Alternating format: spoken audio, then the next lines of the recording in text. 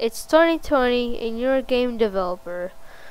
You decided, hmm, I'm going to make a character for the egg hunt. You found an inspiration, which is a hentai character. Ugh.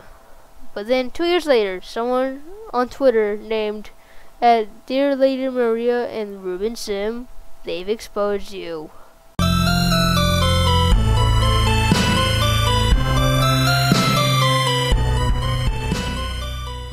Roblox, are you serious?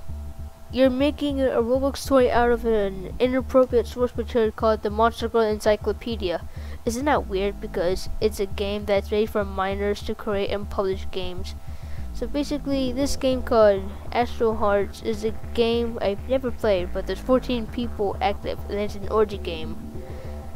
I guess why there's 14 people. Okay, never mind that. I I just poked fun but who cares. It's literally a knockoff off of the one from the encyclopedia, and this can get the developers into legal trouble. What's even worse is that it's getting marketed by a Roblox right, and it makes the encyclopedia in the right. Arrow, they got into, into information, but the developers say it was an inspiration, when in fact he copied it from an 18 plus website. And I've been repeating myself, and by the way, I forgot to mention, but they sexualized the hell out of a Disney character from a movie.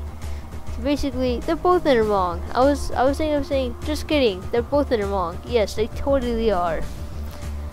And the encyclopedia and the developers, they sexualized the hell out of it.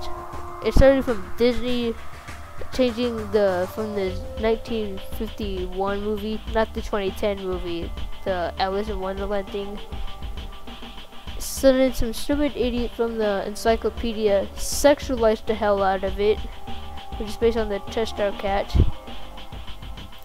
Out of a Disney character from a movie, and then so, so basically, they're both in the wrong, and Disney has nothing to do with it. But I said it's in the right. And by the way, the R63 face, I'm getting the hell out of here. This is America! Don't get yourself in Don't get yourself in